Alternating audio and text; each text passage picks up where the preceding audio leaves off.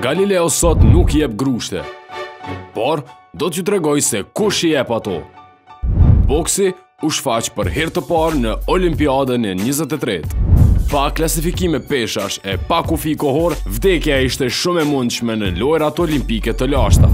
Megjithëse nderi, respekti dhe loja e ndershme ishin gjithmonë pika kryesore e boksierëve.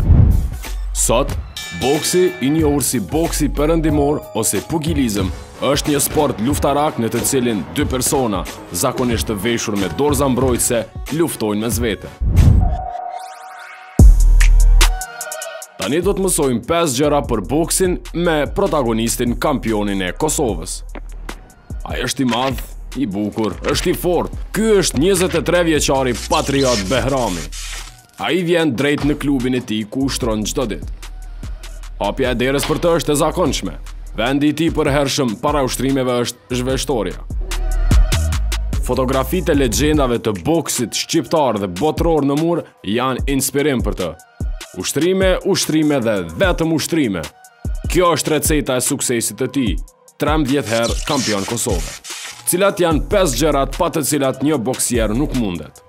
Le të shohim se çfarë ka renditur si të parën boksieri vushtrrias. Numër 1 është ushqimi, fjetja, pushimi dhe ushtrimi.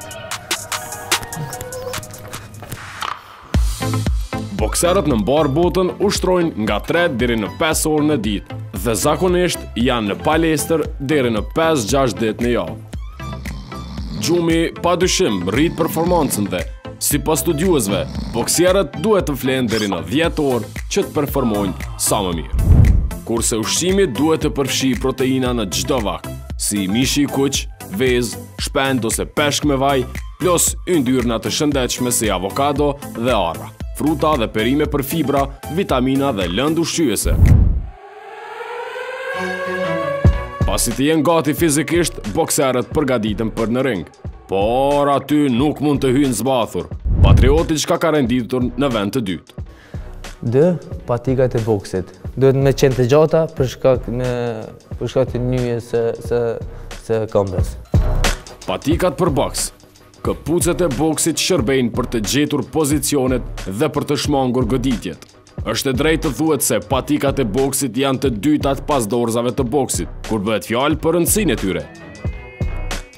Po ashtu edhe mbrojtësi i ijeve, i njohur si filxhan ose rrip për këmbë, është pajisje jetike për çdo boksier. Patrioti e ka renditur si të tretën. Numër 3, është mbrojtësja, që ne i thomi kokë, që i ngjisim në sparingje dhe në meç.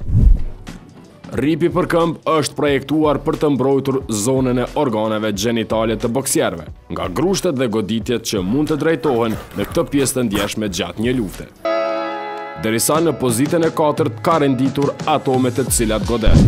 Numër 4 janë fashat dhe dorzat, që i ngjisim duke mbasi që t'i kryjmë stërvitjet, Nxemjet i ngjisim këtu dhe fillojmë në thes ose në sparing. Dorzat dhe fashat kanë një rëndësi të madhe për një boksier. Mbështjelljet e duarve ofrojnë mbështetje dhe stabilitet shtesë për kyçet, duke minimizuar rrezikun e lëndimit. Eh, Përveç pa dorza, në meç nuk mund të hyhet aspak. E pesta, guma e dhëmbëve që e përdorim në sparing edhe në meçe. Boksierët dhe sportistët e arteve marciale mund të pësojnë goditje në gojë, duke çuar në prerje të faqeve dhe buzëve, dhe potencialisht dëmtim të dhëmbëve të tyre. Edhe pse shumica e shohin si një sport të dhunshëm, shqiptarët e ndjekin pothuajse sa futbollin, dhe nuk humbin dot asnjë meç.